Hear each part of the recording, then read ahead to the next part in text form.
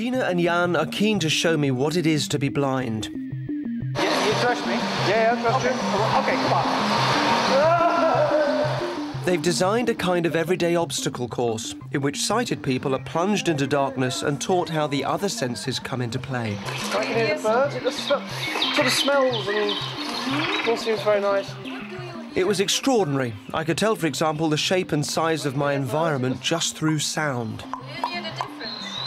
Yeah, yeah. And I was guided through different soundscapes from parks to busy roads.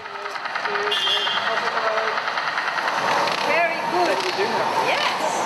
Good. Very good.